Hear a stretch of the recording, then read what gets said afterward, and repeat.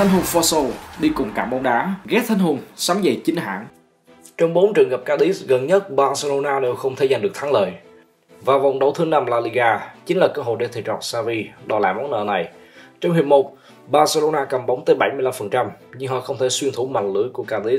Sau giờ nghỉ, Barca đã thi đấu khởi sắc hơn và có được bàn mở tỷ số nhờ pha lập công của Frankie de Jong phút 55. Sau khi Lewandowski được tung vào sân, anh không mất nhiều thời gian để nổ súng và nâng tỷ số lên 2-0 vào phút 65. Trong bối cảnh Barca áp đảo toàn diện sau bàn thắng của Lewandowski, trận đấu bất ngờ bị gián đoạn phút 82 vì một cổ động viên bị ngất xỉu trên khán đài. Sau một thời gian tạm hoãn, trận đấu được tiếp tục. Phút 86, Lewandowski truyền thuận lợi giúp Ansu Fati ghi bàn nâng tỷ số lên 3-0.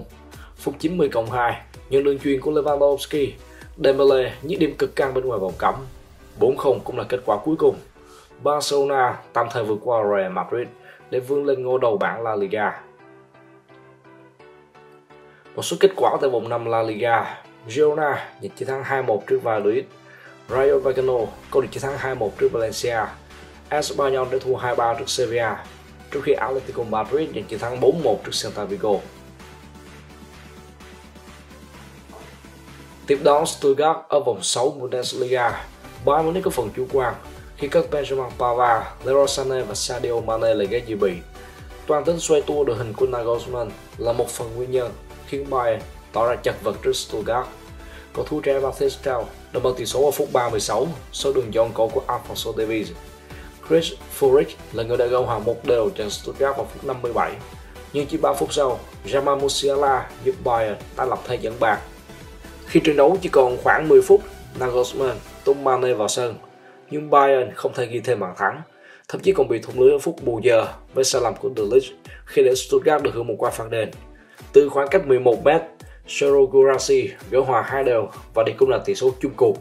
Như vậy, Bayern Munich đã hòa 3 trận liên tiếp ở Bundesliga. Ở một diễn biến khác, Borussia Dortmund đã gây thất vọng khi nhận thất bại 0-3 trước Leipzig.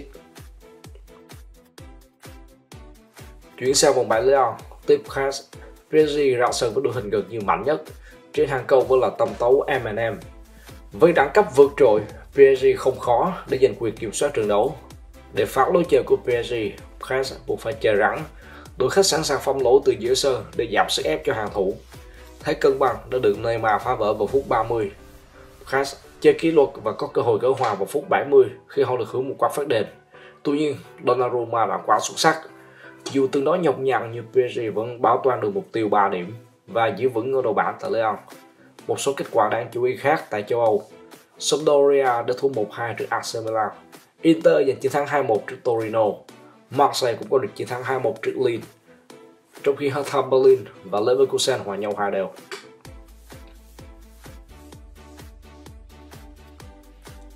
Với bàn thắng quyết định vào lưới của Price, Neymar đã nâng tổng số bàn thắng tại Lyon mùa này lên con số 8. Ngoài ra, Neymar còn ghi hai bàn ở trận tranh siêu cúp Pháp để mang về danh hiệu đầu tiên cho PSG mùa này. Tiền đạo người Brazil đang là một trong những chân sút có phong độ tốt nhất tại năm giải vô địch quốc gia hàng đầu châu Âu. Đáng chú ý, bàn thắng này đã thiết lập cột mốc quan trọng với Neymar. Tiền đạo của PSG đã vượt qua được Pedro Miguel Pauleta 109 bàn để trở thành cầu thủ ghi bàn nhiều thứ tư trong lịch sử đội chủ sân công viên các hoàng tử với 110 bàn. Đứng trước Neymar trong danh sách những cầu thủ ghi bàn hàng đầu cho PSG là Cavani 200 bàn, Mbappe 180 bàn và Ibrahimovic 156 bàn. Nếu giữ vững phong độ hiện tại, Neymar sẽ dễ dàng vượt qua Ibrahimovic ngay trong tương lai gần. Theo công bố mới nhất từ Real Madrid, Karim Benzema sẽ vắng mặt trong phần còn lại của tháng 9 sau chấn thương gặp phải ở trận Celtic. Đây là tin không vui với các Madridista. Chấn thương của Karim Benzema không quá nghiêm trọng, nhưng đủ lâu để làm ít nhiều xáo trộn các kế hoạch của Ancelotti Vết đầu cơ tứ đầu đùi, một hệ quả không thể tránh khỏi của việc cây ải ở cường độ cao khi đã lớn tuổi, buộc Benzema sẽ phải ngồi ngoài trong phần còn lại của tháng 9. Anthony Martial đã trở lại Man United sau qua thời gian thi đấu theo hợp đồng cho mượn tới Sevilla.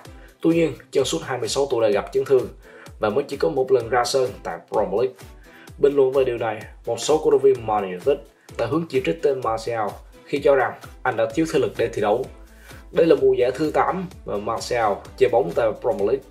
Phản pháo lên lời chỉ trích trên, tiền đạo người Pháp cho biết. Về cơ bản, tôi phải thể hiện sự thất vọng sau khi bỏ lỡ một số cơ hội ghi bàn. Do vậy, tôi là một cầu thủ bóng đá chứ không phải là diễn viên. Tôi không hứng thú với những thông tin mà truyền thông đăng tải. Tôi không thể thay đổi chỉ để làm hài lòng người khác.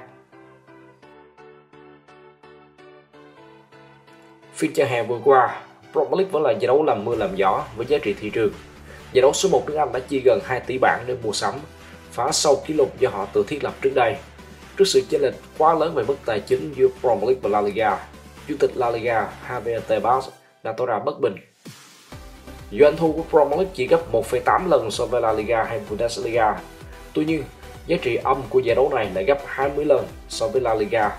Giải đấu có sự kiểm soát tài chính rất tốt. Có điều gì đó không đúng ở đây. Vậy thì điều gì đang xảy ra? Các ông chủ ở Premier League đã góp vốn để bù lỗ. Điều này khác với La Liga. Chúng tôi sẽ đưa vấn đề này lên UEFA. Điều này rất quan trọng, nhất là với các giải vô địch quốc gia khác. Chúng tôi luôn muốn bóng đá châu Âu thật cân bằng và bền vững.